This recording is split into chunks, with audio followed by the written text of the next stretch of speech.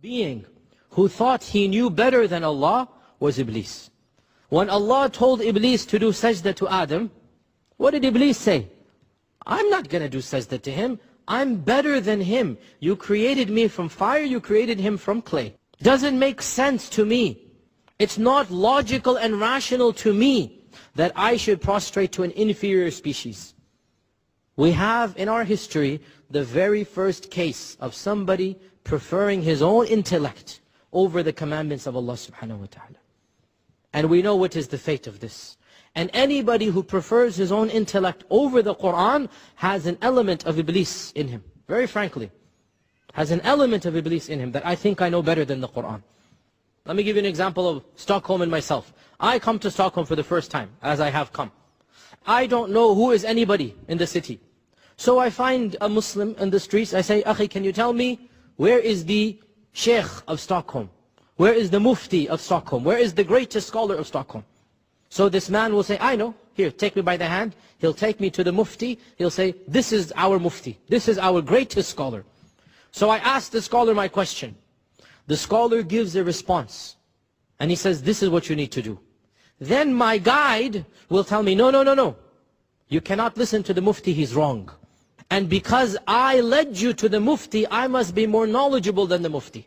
So now you need to listen to me instead of the Mufti. What is all of this example? In this case, the Mufti is the Quran and Sunnah.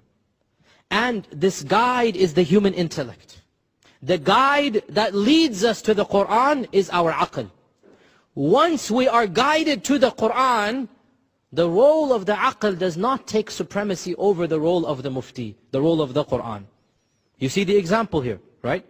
And so Ibn Taymiyyah says, if this were to happen to you, you would say to the guide that you testified that he is the scholar of Stockholm. So now that you've testified, you have no right to disagree. Because you have testified that this is the sheikh of the city. And the fact that you led me to the sheikh does not make you the sheikh. Similarly, the aql and the Qur'an. The aql leads you to the Qur'an. Once you know the Qur'an to be true, you cannot use the aql to reject the Qur'an. The aql tells you, if this is the Qur'an, I must believe in it.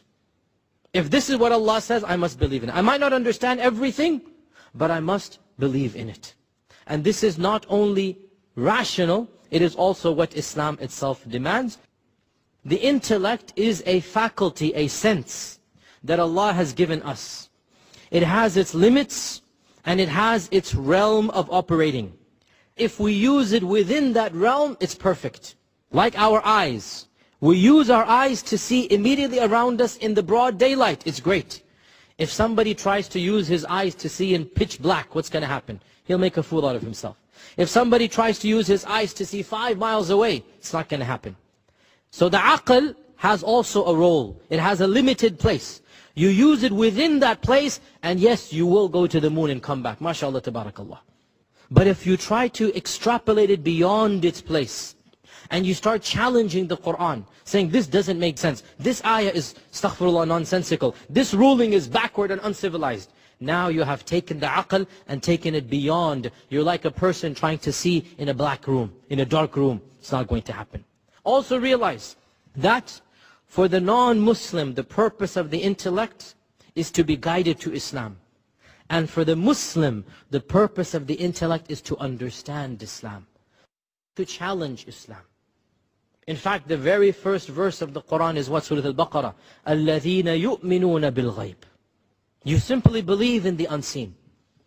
The Quran tells you many things that are beyond the realm of the intellect. The Quran can never contradict the intellect, but the Quran might astound the intellect with what knowledge it has. The Quran will bring knowledge the intellect can never have. For example, angels, heaven and hell. Scientifically, can we prove angels exist? No. SubhanAllah, forget angels. Can we prove our own bodies have ruh inside of it? Ruh, soul.